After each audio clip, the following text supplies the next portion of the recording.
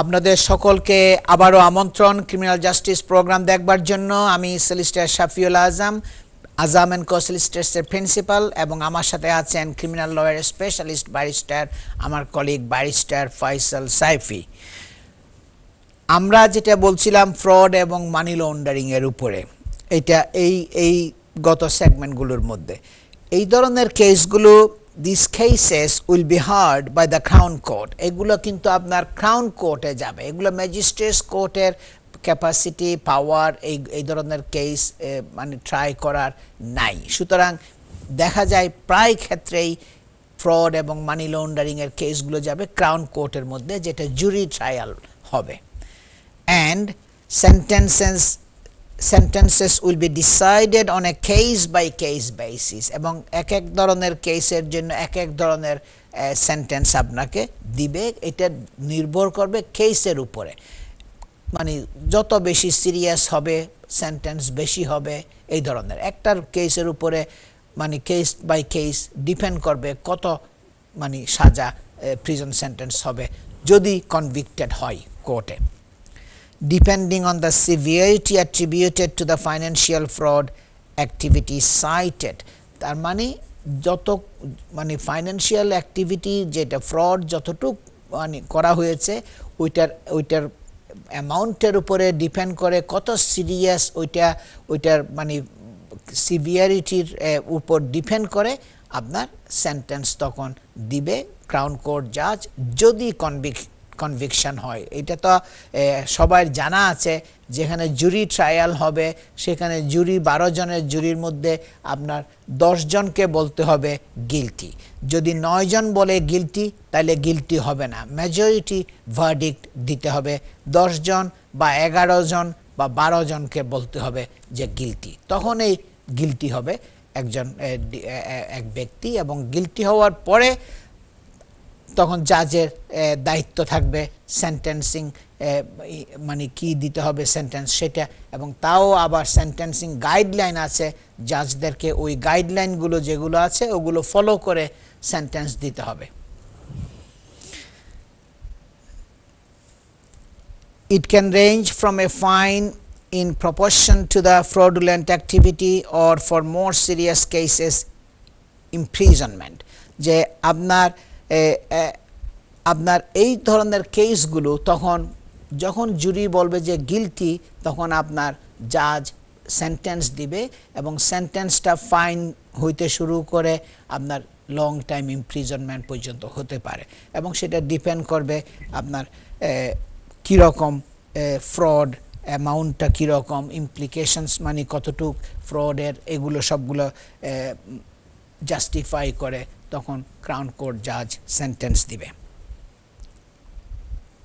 The intensity of time and resource likely to be involve in any financial fraud case will undoubtedly take its toll on your professional and personal life the police যে, যেটা আমি বলছি, প্রচুর কাগজপত্র police আপনার এই সমস্ত কেসের মধ্যে প্রডিউস করে। অনেক ডকুমেন্ট অনেক এভিডেন্স তারা প্রডিউস করবে। এবং এই এই কেসের মধ্যে এই ধরনের কেসের মধ্যে যখন পড়বে আনডাউটেডলি মানে কোনো সন্দেহ নাই, এটা তার একজন ব্যক্তির উপরে অ্যাডভার্স একটা সিরিয়াস একটা এফেক্ট চলে আসবে তার পার্সোনাল লাইফের মধ্যে এবং প্রফেশনাল লাইফের মধ্যে। কারণ অনেকগুলো সে অনেক বছরের, আজকের থেকে তিন বছর, চার বছর, পাঁচ বছর, সাত বছর পুরানো স্টেটমেন্টগুলো নিয়ে আসবে ব্যাংক স্টেটমেন্টগুলো প্রডিউস করবে, বিভিন্ন ইনফরমেশন প্রডিউস করবে so much of the information আপনার আসে, তখন এগুলোর উপরে আপনার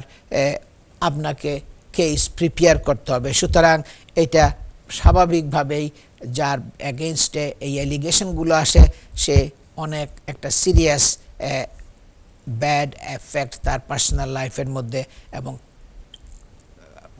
প্রফেশনাল লাইফের মধ্যে চলে আসবে। So therefore, you need a specialist solicitor on your side to help ensure your case is well considered. সুতরাং আপনাকে স্পেশালিস্ট ক্রিমিনাল ডিফেন্স সলিসিটর খুঁজে বের করতে হবে আপনার জন্য এনগেজ করতে হবে যে আপনাকে হেল্প করবে আপনার কেসকে ভালো মতো প্রিপেয়ার করার জন্য উইথ অল এভিডেন্স গ্যাদার্ড এবং সলিসিটার যা যা এভিডেন্স আছে সবগুলো গ্যাদার করবে এবং আপনাকে অ্যাডভাইস করবে টাইমলি ম্যানারে which alongside a clear willingness to cooperate with all agencies involved will help to deliver the best possible outcome. যখন একজন এক্সপার্ট সলিসিটার এনগেজ করবেন, সে যখন সবগুলো এভিডেন্স যখন অ্যানালাইজ করবে, আপনাকে অ্যাডভাইস করবে আপনার কি কি এভিডেন্স দর, কী কী দরকার হবে, আপনার পক্ষে কি কি উইটনেস দরকার হবে এবং তাছাড়া আপনাকে কোঅপারেট করতে হবে অথরিটির সাথে পুলিশের ইনভেস্টিগেশনের সাথে আপনাকে মানে রেগুলারলি তারা যেটা ডিমান্ড করে, তারা যে, যখন ইন্টারভিউ করতে চায় ওগুলোতে টাইমলি ম্যানারে আপনার অ্যাটেন্ড করতে হবে কোঅপারেট করতে হবে, তখন এইগুলো সবগুলো মিলে তখন একটা বেস্ট পসিবল আউটকাম আনার জন্য আপনার সেলিসিটার চেষ্টা করবে। The legislation regarding money laundering in the UK is amongst the toughest compared to anywhere in the world. আমাদের এই দেশের মধ্যে ইউকের মধ্যে মানি লন্ডারিং এর ল যেটা আছে এটা হলো টাফেস্ট এটা হলো ওয়ার্ল্ডের অন্যান্য দেশের তুলনায় এই দেশের আইন যেটা এটা হলো সবচাইতে আপনার টাফ ল খুব স্ট্রিক্ট এই দেশের মধ্যে ল যেটা আছে আপনার and with the possibility of significant time in prison যদি কনভিক্টেড হয়, একজন ব্যক্তি তাকে অনেক বছরের জন্য হয়তো প্রিজনে যেতে হতে পারে মানি লন্ডারিংয়ের জন্য কনভিক্টেড হলে। It is essential to seek legal support as soon as possible সুতরাং এটা খুবই ইম্পর্ট্যান্ট যে যখনই আপনার বিরুদ্ধে মানি লন্ডারিংয়ের অ্যাকিউজেশনগুলো আসবে, সাথে সাথে আপনাকে লিগাল অ্যাডভাইস সিক করতে হবে। Professionals who may unexpectedly had them, uh, find themselves cut up in an investigation relating to money laundering অনেক সময় দেখা যায় অনেক প্রফেশনালরা আপনার এগুলোর মধ্যে পড়ে গেছে আপনার জড়াইয়া গেছে এই ধরনের প্রফেশনাল মানে অ্যাকাউন্ট্যান্টরা বা ওই যে যার বিরুদ্ধে কেস হয়েছে, তাকে যারা যারা অ্যাসিস্ট করেছে, যারা প্রফেশনাল যারা আছে, তারাও তখন ইনভলভ হয়ে যায় এবং তারাও ইনভেস্টিগেশনকে ফেস করতে হয়। তাদের বিরুদ্ধেও তখন ইনভেস্টিগেশন শুরু হয়। তাদেরকেও পুলিশ ইন্টারভিউ করে। তারাও পার্ট অফ দ্য কেসের মধ্যে চলে আসে। কোয়াইট সিরিয়াস তারা বুঝতে পারে না যে তাদের বিরুদ্ধে এই ধরনের একটা সিচুয়েশন আসবে। কিন্তু এটা হয়। Our aim is to minimize the consequences on work and life in general. যারা আমরা ক্রিমিনাল ডিফেন্স সলিসিটার আছি, যারা আমরা ক্রিমিনাল লয়ের উপর প্র্যাকটিস করি, আমাদের কাজ হচ্ছে যতটুক সম্ভব মিনিমাইজ করা, যে তাদের যে স্ট্রেস যেটা আসে এবং তাদের উপরে যে আপনার যে মানে স্ট্রেসফুল সিচুয়েশন বিভিন্ন আঘাত যেগুলো আসে কাজের মধ্যে এবং পার্সোনাল লাইফের মধ্যে এগুলোকে মিনিমাল রাখার জন্য চেষ্টা করা। Seeking the very best outcome for you এবং ওগুলো মিনিমাইজ করে সবগুলো যতটুকু করা হয়, আপনার জন্য একটা বেস্ট পসিবল আউটকাম অ্যাচিভ করার জন্য চেষ্টা করা।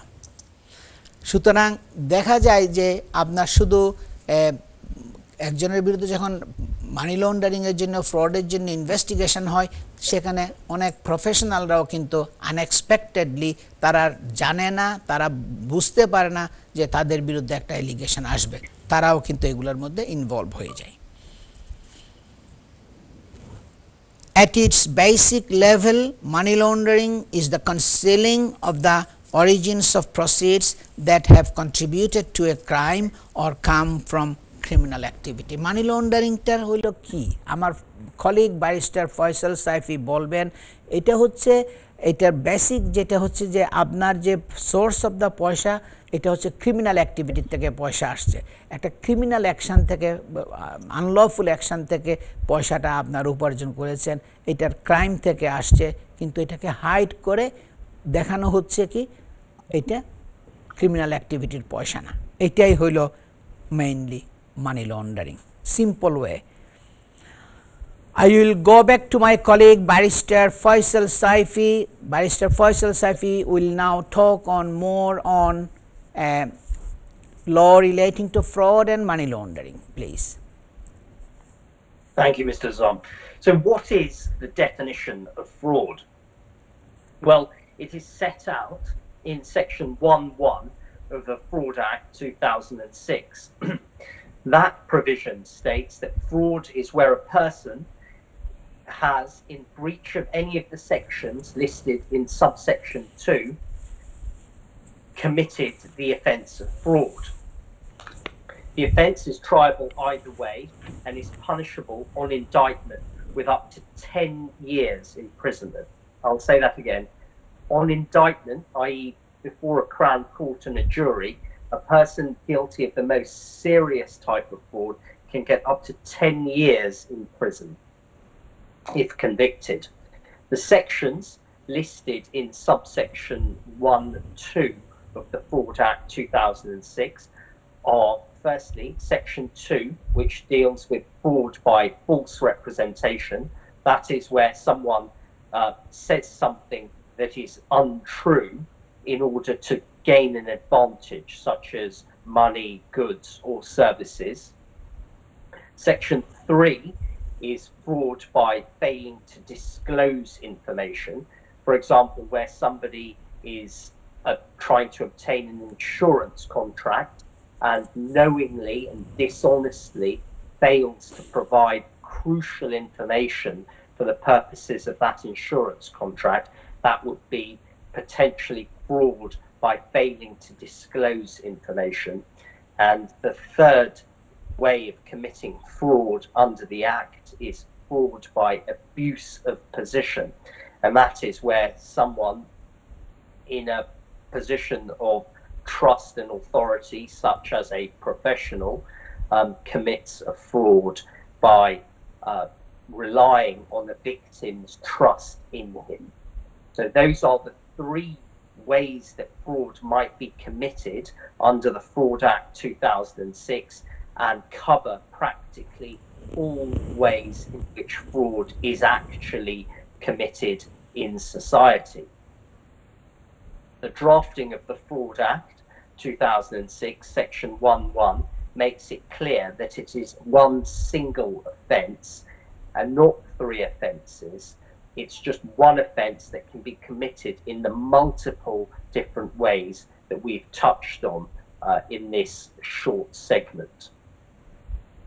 Now, carrying on with the legal definition of fraud, uh, the offence requires proof of it, two other elements that aren't specifically set out in the statute. One is dishonesty. It must be proved that the defendant was dishonest. And two, it must also be proved that the defendant had an intent to make a gain, cause a loss to another, or to expose another to a risk of loss. So those two further elements are dishonesty and an intent. Dishonesty is not defined in the, Fraud Act 2006 in order to know what dishonesty means, one therefore has to look to what the judges have said in other cases that have been reported and that lawyers are able to advise on. The starting point as to the meaning of dishonesty in this context is Lord Justice Millett's observation that in all our jurisprudence there is no sharper dividing line than that which separates causes cases of fraud and dishonesty from cases of negligence and incompetence. I cannot emphasize that enough. Negligence, incompetence, those are not cases of fraud. They are not cases of dishonesty. In order to prove fraud and dishonesty, one needs to show something more. It needs there needs to be proof of what was essentially what was going through the defendant's mind at the time. That he may have got something wrong, that he may have acted carelessly, that will not necessarily be enough. That's very important. It, it is an essential issue. Yeah. Yes, thank you. It's also essential and critical to be aware that dishonesty and motive are separate matters. So for example, forging a signature for the purpose of getting money to give to the person that owns the money is still dishonest. So, forging someone's signature to give them their own money back is still dishonest. The motive might be a good one. You're trying to give money back to a person to whom it Yeah. belongs, but it's still dishonest to forge a signature to get that money in the first place. In short, as Lord Nicholls has observed in another reported case that lawyers can advise on, for the most part, dishonesty is to be equated with conscious impropriety. See, this goes back to the point I made a moment ago that it's what is it, the issue is really what is going through the defendant's mind. Is it con- is he what he is doing consciously wrong? Is it conscious impropriety? The definition of dishonesty was more recently established in a case called Ivey and Genting. That was a case that went through all the tiers of the courts in the in England, and it went, resulted in a judgment from the Supreme Court. It was a case concerning someone who tried to defraud or cheat at a game of cards in a casino. And in that case, the defendant was unsuccessful and he, he, the casino was successful against him. The court found an occasion to set out a com- comprehensive definition of what dishonesty means that applies both in the criminal law and in the civil law. There are two limbs to it. The, fir- the first is when, dis- when dishonesty is in question, the fact finding tribunal, i.e., the court, the criminal court, whether it be a magistrate's court or a crown court, must first ascertain the actual state of the individual's knowledge or belief as to the facts. What did he know what was that was going on? That's the crucial and first question that a court will look at. The reasonableness or otherwise of his belief is a matter of evidence, often perhaps in practice determinative, going to whether he held the belief, but it is not an additional requirement that his belief must be reasonable. The question is whether it is genuinely held. When once his actual state of mind as to knowledge or belief as to the facts is established, the question is whether his conduct was honest or dishonest is to be determined by the fact finder applying objective standards of ordinary decent people. This is the jury test. Will the jury think that knowing what the defendant knew at the time, whether his conduct was acceptable or acceptable according to the ordinary standards of ordinary decent people? That is the test of dishonesty and the crucial and critical component of any allegation of fraud. Thank you, Mr. Azam. Yeah, you can continue for a few more minutes if you want to. Thank you. Well, I, I, I will. The, these, both these objective and subjective limbs of the test set very high hurdles. As I've explained, the uh, subjective test is critically the test of dishonesty and whether in light of what a person knew or believed at the time, whether a jury think what he was doing was wrong, um, and the but the objective limb of whether the it, whether what he was doing was wrong will be determined by the jury in a crown court and in a magistrate's court by the magistrates. In establishing what a person knew, it is essential to understand the difference between different types of knowledge that a person might have. And the courts have, over the years, spent much time and exerted themselves to a great extent to define different types of knowledge. At the highest level, there is actual knowledge. That's when something, somebody knows something. Another type of knowledge, which is called blind eye knowledge, which is when one willfully shuts one's eyes to the obvious. One suspects a state of affairs or a fact, one suspects it, doesn't know it for sure, but then fails to make the inquiries or ask the questions that an ordinary, reasonable person would have done because one doesn't want to confirm it as being true. That's blind eye knowledge. Um, then there are below that different other different types of knowledge. Perhaps an ordinary, reasonable person, but not the defendant, would have known. But that's and that is called some called constructive knowledge. It's not actually what the defendant knew, but what the defendant should have known. Obviously, type one, actual knowledge, is the most difficult to prove and will require the clearest evidence to be able to prove that. Type 2, blind eye knowledge, um, is also very difficult to prove. Um, it requires proof that one deliberately abstains from inquiry in order to avoid certain knowledge of two, what the individual already suspects to be the case. And anything short of that, as I say, would amount to uh, constructive knowledge or what the defendant should have known and is comparable to negligence or incompetence, not fraud. Yeah, thank you very much, Mr. Saifi. I think we are out of time for today. We will discuss these topics some uh, at another time also. দর্শক আজ আমাদের সময় প্রায় শেষ হয়ে গেছে আজকের প্রোগ্রামটি আবার পুনঃপ্রচার করা হবে অর্থাৎ রিপিট দেখানো হবে নেক্সট টুইসডে দুপুর সাড়ে বারোটার থেকে দুটা তাছাড়া এনটিভি ইউরোপের ফেসবুক এবং ইউটিউব চ্যানেলে লগ ইন করলেও আপনারা প্রোগ্রামটি দেখতে পারবেন। সবাই ভালো থাকুন, সুস্থ থাকুন এবং সকলের প্রতি আমার শুভকামনা থাকল। আসসালামু আলাইকুম।